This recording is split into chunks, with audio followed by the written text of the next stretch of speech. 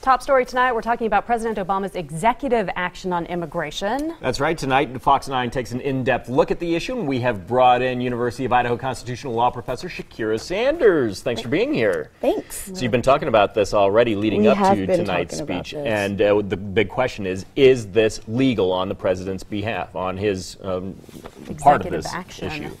Well, the president is tasked under the Constitution to faithfully execute the laws. Yeah. Um, but there is a flip side where the president has prosecutorial uh, discretion in determining who to prosecute for certain violations of the law and who not to prosecute. You said that you've actually been studying this recently, not just because it's obviously been a hot topic, but you've been going to conferences. What's been the buzz at these conferences that you've been going to? What have people really hit on as this could be a little bit touchy, this is where it's gray? Well, we've seen this type of action before from prior presidents, where they exec, uh, and what we can assume here is that, that there will be an executive order outlining the president's priorities um, that he talked about in his speech.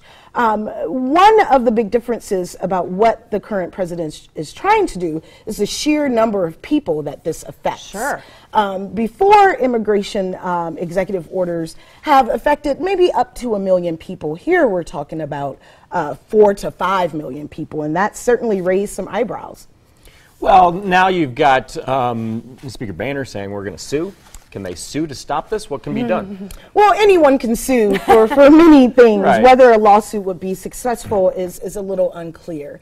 It may be that the court wants uh, the executive and the legislative branches to duke it out, and therefore the court may take a step back um, by saying maybe this is a political press question or this is just really beyond our authority to determine whether this executive action is, is constitutional. Shaakirrah, I want to take you back to what Congressman Mike Simpson said in, in a statement to us tonight. He says not only are, is this illegal, unconstitutional, and contrary to the American way, he also says that this has the ability to throw us into a constitutional crisis. I- mean, is that just political speak, or is there something true to that? Well, it's certainly a very serious charge. Yes. Um, but whether it, it will end up causing a constitutional co- crisis is very unclear. Again, um, we do have a Supreme Court to decide these issues. If the court declines to really get involved, we also have the option of the president and the Congress coming to the comp- uh, to a compromise. And if they can't, the Congress always has the authority to pass a law. They can amend the existing immigration laws or pass a whole new bill. Which, of course, could be vetoed by the president. Well, of course.